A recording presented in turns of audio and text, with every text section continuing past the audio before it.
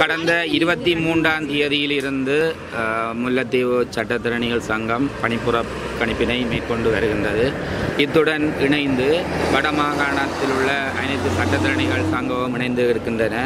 அதே நேரம் கிழக்கு மாகாணத்தினுடைய சட்டத்திறனிகளும் கடந்த நாட்களில் தமது பணிப்புறக்கணிப்பினை மேற்கொண்டிருந்தார்கள்.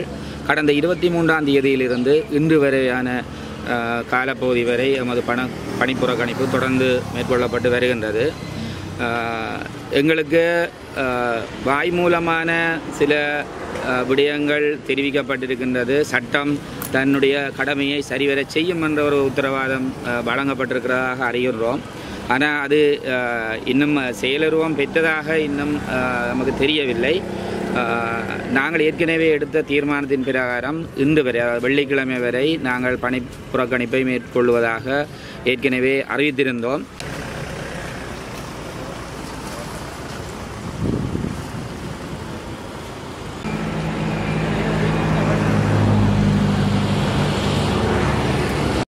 கிழக்கு மாகாண ஆளுநர் அலுவலகத்துக்கு முன்பாக மக்கள் தமிழ் மக்கள் கூடியிருக்கின்றோம்.